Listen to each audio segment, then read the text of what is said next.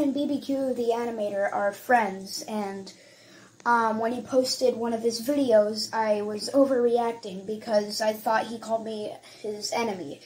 But then I realized later that um, he was talking about someone else calling him. Uh, I, I realized he was talking about someone else calling me his enemy. And so I thought he was talking about me being his enemy. So uh, I overreacted, and now we're okay. Yeah.